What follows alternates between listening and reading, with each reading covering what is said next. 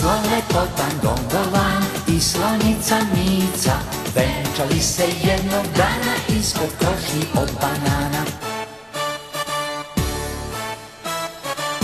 Slon lepotan gondolan i slonica Mica. Venčali se jednog dana ispod krošnji od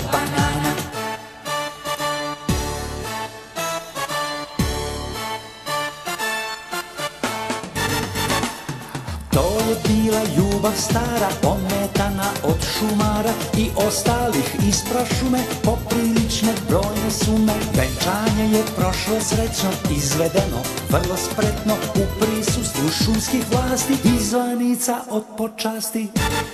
Slon lepotan dondolan i slonica Mica, venčali se jednog dana ispod košnji od banana. Slon lepotan gondolan i slonica Mica Venčali se jednog dana ispod krošnji od banana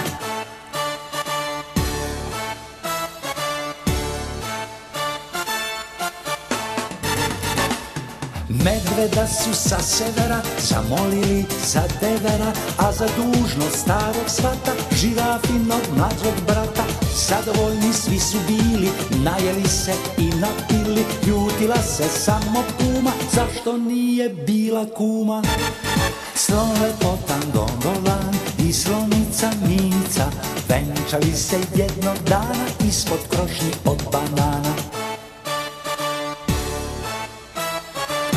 Slon lepotan gondolan i slonica Mica Venčali se jednog dana ispod